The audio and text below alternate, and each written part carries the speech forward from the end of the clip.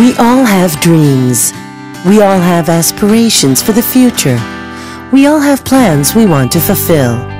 So has Tel Aviv Yafo. It now has a plan to guide its development for many years to come. City, the strategic plan for Tel Aviv Yafo.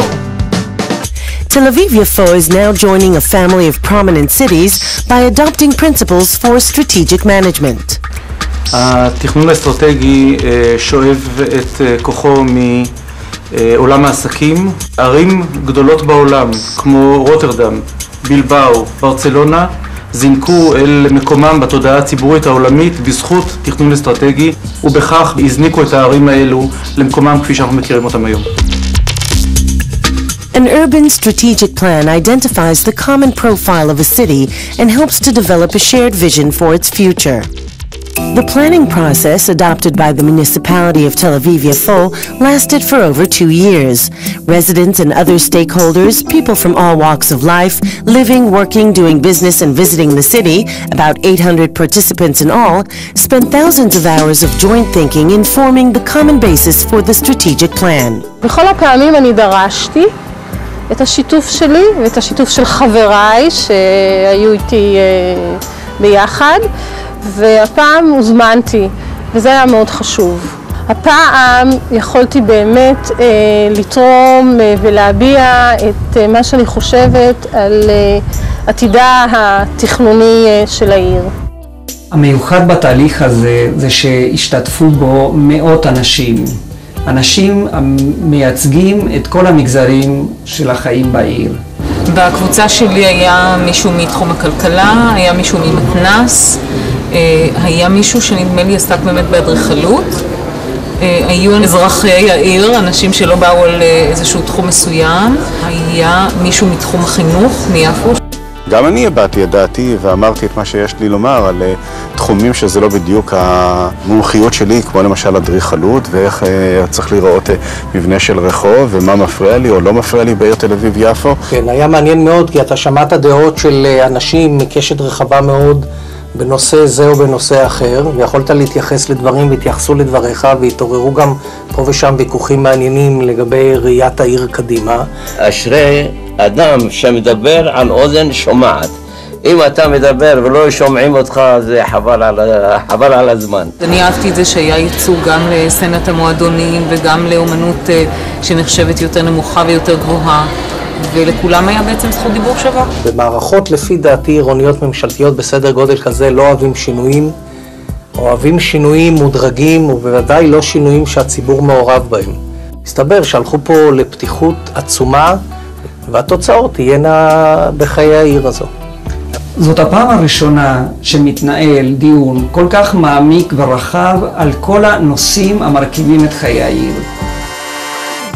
A great variety of topics were debated the city's economy, culture, physical structure, environment, governance. Each and every subject raised was discussed. On this basis, a vision for the future was formulated.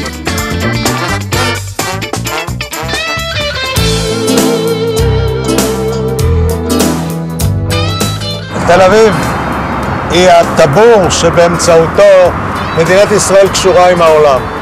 את המרכז העסקים הזה, המרכז הפיננסי הזה, צריך לשמור. בלי התנועה הכספית, הפיננסית, הכלכלית שמתחוללת פה מאחור, ישראל מנותקת. אבל מה שאתה רואה מאחור זה עוד דבר. זהו המקום היחיד בעולם שיש בו ריכוז גבוה מספיק כדי שיהיה בו תיאטרון עברי, שיהיה בו אה, מרחב שבו אפשר לפתח מוזיקה ישראלית וכיוצא בזה. זהו המרכז של התרבות ושל הכלכלה בעת ובעונה אחת. זאת עיר שהיא לכל החיים ולכל הגילאים. העוגן החשוב לפי דעתי אלה הם הערכים החברתיים של צדק חברתי, של כיבוד השונה, של שוויון הזדמנויות וצמצום פערים. שילוב של תחומי תרבות, של קהילה וחינוך בתמונה אחת עירונית, אטרקטיבית, לאוכלוסיות צעירות ואוכלוסיות בוגרות. עיר עם ה... שהממשל שלה עם פנים לאזרח, והיא מהווה גם מרכז מטרופוליני וארצי, זה אומר שהעירייה של תל אביב תהיה עירייה מוטת לקוח, שהטיפול בלקוח יהיה פרטני, זה אומר שהאזרחים של תל אביב, התושבים של תל אביב, המבקרים והאורחים של תל אביב יהיו שותפים בתהליכי קבלת ההחלטות. מעבר לכך, תל אביב חייבת להיות עיר עצמאית. ואחת מתמונות העתיד שאנחנו צופים לתל אביב היא השגת יתר עצמאות. אבל בתחומים שבהם יש עניין משותף לרשויות, ומאחורינו נמצא האזור שיהיה המרכז הכלל מטרופוליני, ששותפות בו עיריית רמת גן ועיריית גבעתיים וכמובן עיריית תל אביב, בתחומים של תכנון פיזי, של פיתוח אסטרטגי, של פיתוח מערכות תחבורה, של איכות סביבה, של מערכות שירותים וניקיון, בהחלט אפשר לפתח שיתופי פעולה שירחיבו את המעגל ואת המארג המטרופוליני למערך הרבה יותר מושך. Tel Aviv Yafo will conserve and rehabilitate its heritage, undertake urban renewal and balance built-up areas with open spaces. The city will strive to bring back vibrant life to its older major streets through design excellence, conservation of historic buildings, and preservation of worthy textures. The city will take action to reduce environmental nuisance and to promote an efficient multimode transportation system. תל אביב כמטרופולין חייבת להפסיק להתבסס על האוטובוס, על המכונית ולעבור למערכות הסעה רבות קיבולת. עתידה של תל אביב-יפו תלוי במערכת הנגישות ומערכות ההסעה לכל אותם אלה שרוצים להגיע אליה מדי יום, לעבוד בה ולבלות בה ולעזוב אותה מבלי שהם מעמיסים את המערכות העירוניות האחרות ומזהמים את סביבתם. ומאידך לאפשר להשתמש באמצעים אלטרנטיביים כמו אופניים והליכה ברגל.